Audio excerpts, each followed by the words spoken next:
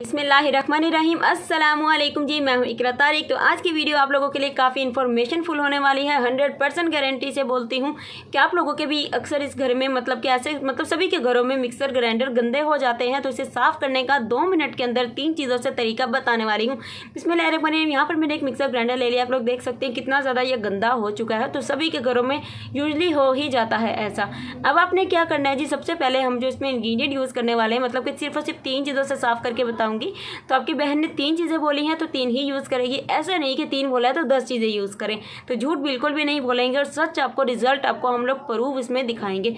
यहाँ पर one table spoon मैंने इसमें डाल दिया खाने वाला मीठा सोडा, यानी कि बेकिंग सोडा जो कि ईजिली आपको कहीं भी से मिल जाएगा। तो वन टेबल स्पून इसमें डाल देना है। सेकेंड हमारा इंग्रीडियंट जो है वो है जी, बहुत ही पावरफुल लेमन जूस अगर लेमन जूस नहीं है तो कोई बात नहीं है सिर्फ़ इसलिए मैं डाल रही हूँ बेकिंग सोडा की जो स्मेल होती है ना, वो इसमें से खत्म हो जाएगी। तो यहाँ पर देखिए one tablespoon lemon juice डालते हैं किस तरीके से हमारा बेकिंग सोडा एक्टिव हो चुका है।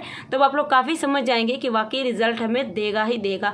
टू टेबल स्पून यहाँ पर हम लोग क्या करेंगे? व्हाइट विनेगर यानी कि सिरका डालेंगे, जो कि बहुत ज़्यादा पावरफुल होता है मैल कुचल को उतारने के लिए। तो यहाँ पर क्या करेंगे? एक पुराना सा ब्रश ले लीजिए। तो मेरा ये ब्रश है, जिसे मैं अक्सर अपने मिक्सर वगैरह साफ़ सुथरे करती हूँ, इसलिए इस तरीके का है। तो इसे अच्छे तरीके से रब करना है, ब्रश करना है, जिस तरीके से अपने दांतों को ब्रश करते हैं ना, बिल्कुल उसी वे में हमें इसे ब्रश करना है। अच्छे तरीके से करना है, ताकि इसकी जो भी मैल उतर जाए।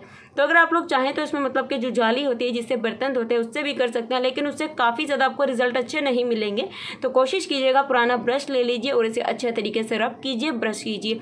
मैं आपको गारंटी देती हूँ कि आपके भी मिक्सर गंदे से गंदे भी बहुत ही साफ़ सुथरे हो जाएँगे। तो ये देखिए जी, काफ़ी अच्छे तरीके से मैल कचैल जो है हमारी उतर रही है। आप लोग देख सकते हैं तो कुछ लोग होते हैं ना मतलब आप लोगों ने देखा होगा, दिखाते हैं जी, ऐसे बर्तन थे और ऐसे हो गए, लेकिन हमारे घर में होता ही नहीं है। अल्हम्दुलिल्लाह माशाला माशाला तो देखिए जी रिजल्ट्स मेरे अल्लाह के शान, कितने ज़बरदस्त इसके रिज़ल्ट आए हैं सीरियसली तो मैं आप लोगों के साथ हमेशा ऑनेस्टली रिव्यू सच्चे रिव्यू ही शेयर करूँगी। तो आप लोग भी इस ट्रिक को यूज़ कीजिएगा और अपने गंदे से गंदे मिक्सर को अच्छे तरीके से और साफ़ सुथरा बना सकते हैं, सिर्फ़ और सिर्फ़ तीन चीज़ों से और दो मिनट के अंदर। तो ज़रूर से इसे ट्राई करना है, फिर मुझे बताना है कि आपको ये कैसा लगा। और वीडियो अच्छी लगी, वीडियो को लाइक कर देना शेयर कर देना मेरे चैनल को सब्सक्राइब कर लीजिए।